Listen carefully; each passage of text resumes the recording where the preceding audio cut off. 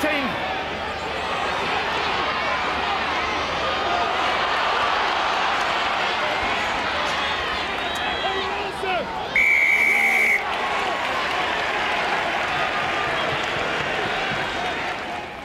Repeated infringement. You're offside in the middle of the park. We just spoke about a captain.